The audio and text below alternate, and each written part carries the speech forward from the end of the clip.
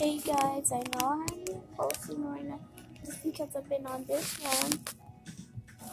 As you can see, because I've been calling my mom and she kept be annoying. So, bye.